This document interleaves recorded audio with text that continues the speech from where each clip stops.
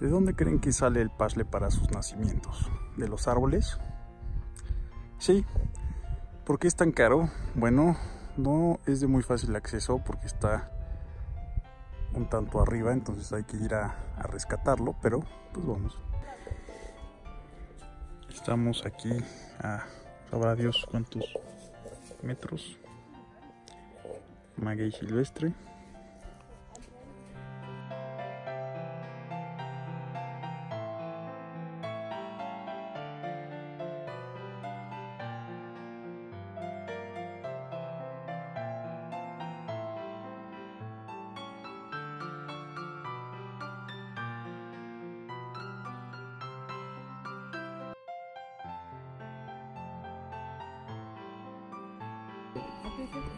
Por ahí de que wow, cuentan las peñitas, por allá hacía este paraje un caminante.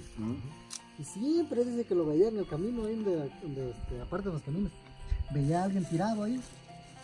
Y un día así dice que le dice al muerto, mira amigo, dice, tengo un regalo para ti, dice que le y ahí donde vive Abelino, donde está, por ahí donde sale este, con tal, este, ¿cómo se llama ese palo que está ahí? Animal. Y dice que ahí estaba un este, un igareche con liria, un marquetudo ahí. Cárgame, dice, y te voy a decir a dónde está la chamba. Que le dice. Cárgame todavía, fíjate. Y dice que lo, sí lo cargó, dice. Lo cargó. Lo cargó. Pero ya se murió capaz el No, tipo. espérese. Dice, dice que lo cargó y cuando dice aquí nomás déjame. Aquí escarba, dice que hay chamba ti, dice que le. Va el señor y que le.